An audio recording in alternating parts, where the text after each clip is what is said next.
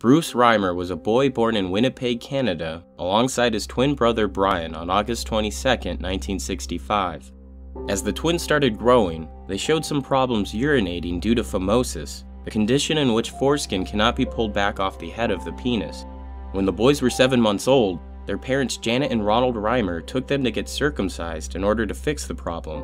What the parents didn't know was that the doctor in charge of the circumcision was using a method of cauterization, a burning technique, instead of a traditional blade.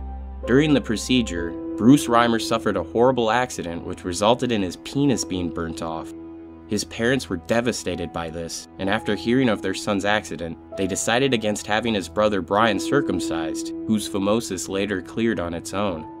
While questioning whether or not their son would be happy as a male with no penis, their mother happened to be watching a show on television that featured a psychologist named Dr. John Money, who specialized in biology of gender and sexual identity. He appeared charismatic, intelligent, and confident, and he was also well respected and reputable in his field by his peers. He had a theory that gender was not something you were born into, but something learned through socialization and upbringing. The parents felt this was the answer to their son's problem, so they contacted Dr. Money and told him of their situation. Dr. Money invited them to Johns Hopkins Hospital in Baltimore to meet with him. After discussing the matter, the doctor convinced the parents that it would be in their son's best interest to raise him as a girl.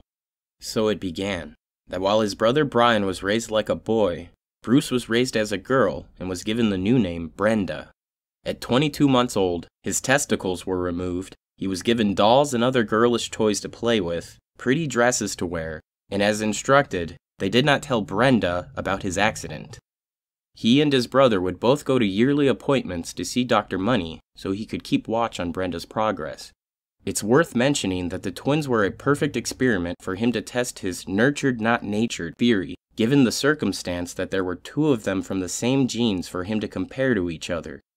However, some issues arose.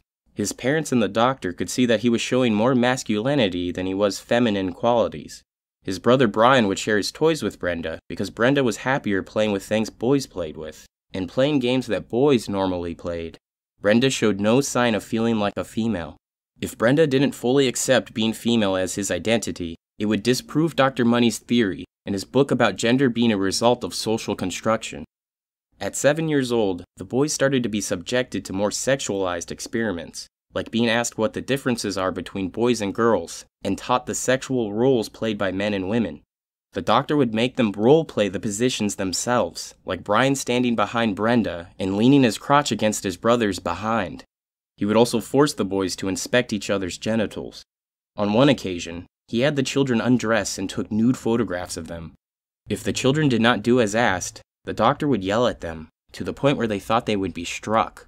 The children did not like the sessions with the doctor, but they didn't tell their parents what was going on. It was also around this age, Dr. Money tried talking Brenda into going through an operation that would completely change his parts to what he told Brenda they were supposed to look like, like a girl. Brenda was very scared of the thought and refused. Later on, when Brenda was becoming a teenager, the doctor made one last attempt to convince him about the operation. He invited another patient of his, a transgender female who had undergone an operation willingly, to talk with Brenda.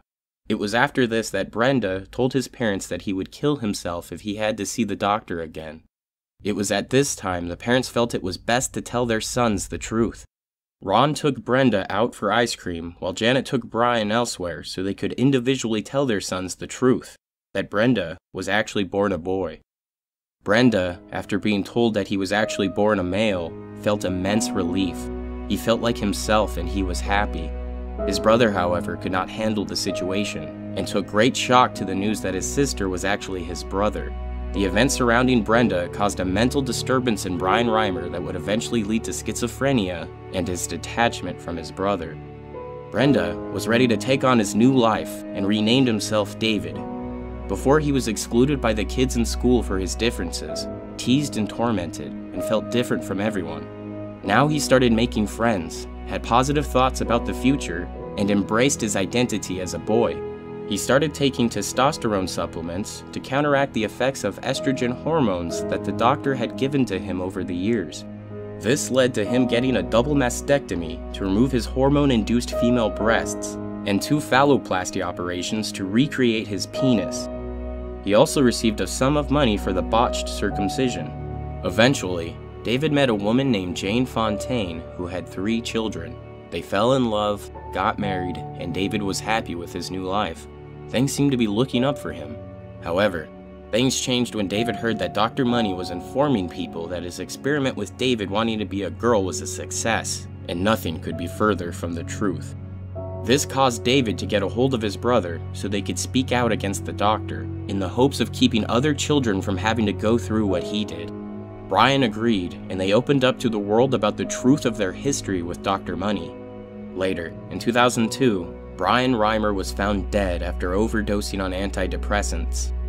Aside from David having to deal with his brother's death, he was conned out of $65,000 in a bad deal and was having trouble finding work.